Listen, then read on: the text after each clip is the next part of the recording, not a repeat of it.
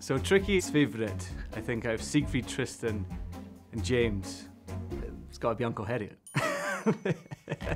right? got to be. Is Uncle Herriot here? But of course, Tricki was favourite is Siegfried.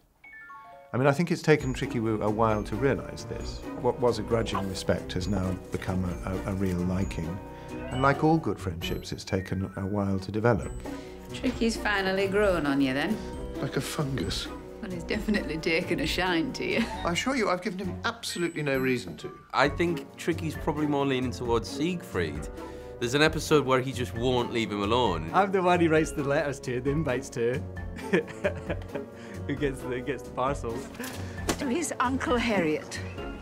Ah. They're all there for him in times of need, and throughout this season as well, in various stages, they're all there for him again. I think Tricki loves them more because I think Tricki's real love is food. So I think Miss Tricki's holding out for Mrs. Hall to cook her dinner. That's what I think, and she'll become the third favourite. He does love a homemade biscuit. They're actually for you, Mrs. Pumphrey. Oh, I only eat a Fortnum myself, but Tricki's a little less fussy. I think series one, it probably was James, but I think off camera, I think off camera it's me.